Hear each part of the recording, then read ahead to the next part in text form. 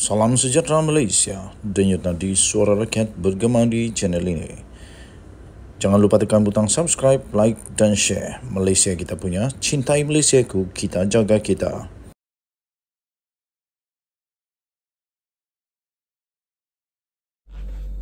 Salam sejahtera Malaysia. Perkembangan terbaru. Penangkapan oleh SPRM. Sekali lagi, SPRM umum telah menangkap manusia-manusia yang menjadi dalang kepada kebobrakan, kepada kehancuran, kepada bikin malu negara.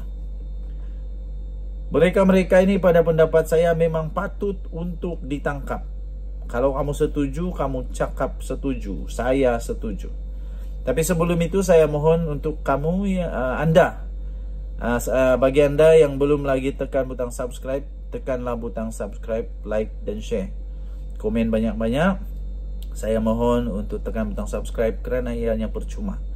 Bantu saya untuk majukan channel ini lagi supaya channel kita ini akan berkembang besar, boleh menjadi suara yang cukup kuat boleh sampai kepada telinga yang amat berhormat Perdana Menteri Malaysia Datuk Seri Anwar Ibrahim suara rakyat. Okey. Bekas pengerusi NGO. Sudahlah bekas pengerusi. Ada gelaran datuk pula tu. Aduh, memalukan betul lah. Ini bukan orang biasa. Ini dah kaya ni. Sudah kaya. Tapi masih lagi masih lagi buat penyelewengan.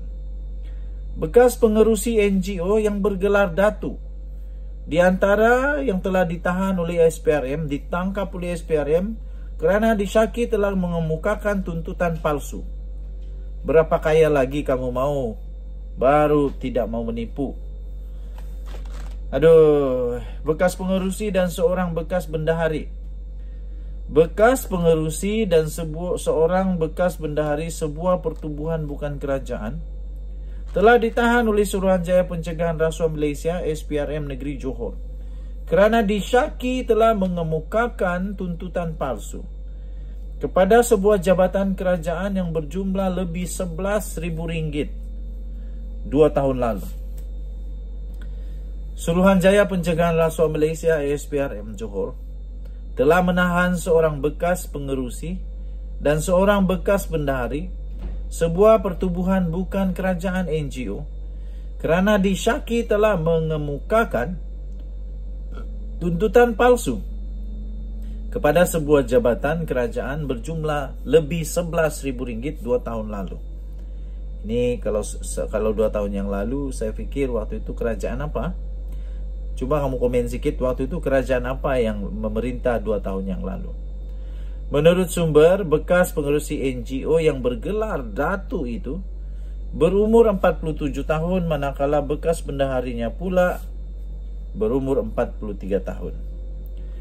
Kedua-dua lelaki itu telah ditahan di pejabat SPRM Johor di antara pukul 8.30 malam hingga 9.30 malam.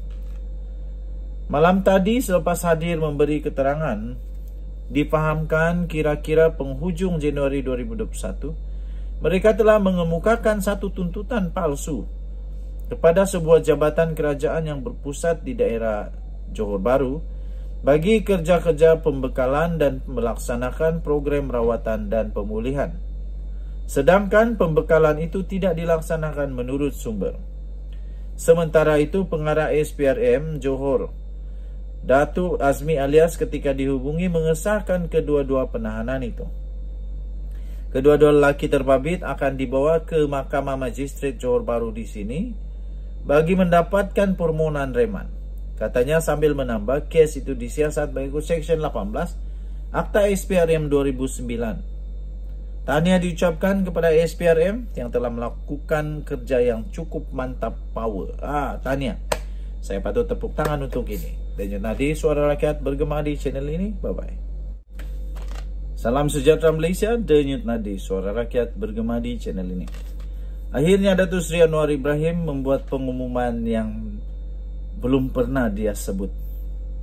Pengumuman yang amat penting, pengumuman yang membuat kita terkesima membuat kita rasa wow. Kerana pengumuman Datuk Seri Anwar eh, Ibrahim ini menunjukkan bahawa beliau ini seorang yang bukan bukan kacang lupakan kulit. Bukan waktu susah oh perlu ingat. Sudah senang dah tak ingat. Pengumuman ini juga menunjukkan bahawa Datuk Seri Anwar Ibrahim seorang Perdana Menteri yang memang best. Kalau kamu setuju, kamu boleh komen saya setuju. Perdana Menteri Datuk Seri Anwar Ibrahim mengakui bahawa Indonesia terima saya ketika saya terdampar, terbuang dan tersisih katanya. Rupa-rupanya Datuk Seri Anwar Ibrahim ketika dia berada dalam fasa down habis pada hari itu, Indonesia tetap menerima dia menjadi rakannya, terutama untuk Presiden Indonesia rupanya tetap setia kepada dia dan Anwar Ibrahim manusia yang tak lupa daratan. Sehingga dia tetap mengingat bahawa Indonesia lah Indonesia tetap menerima dia ketika dia terdampar dan terbuang dan tersisi. Perdana Menteri Datuk Seri Anwar Ibrahim menjelaskan sebab beliau memilih Indonesia sebagai negara pertama untuk lawatan rasminya ke luar negara. Selepas beliau dilantik menerajui negara pada 24 November yang lalu. Rupanya ini, katanya selain daripada negara jiran yang serumpun dengan persahabatan yang baik, Republik itu juga adalah sahabat sejati yang telah menerima beliau ketika beliau dalam keadaan yang terdampar, terbuang dan tersisi.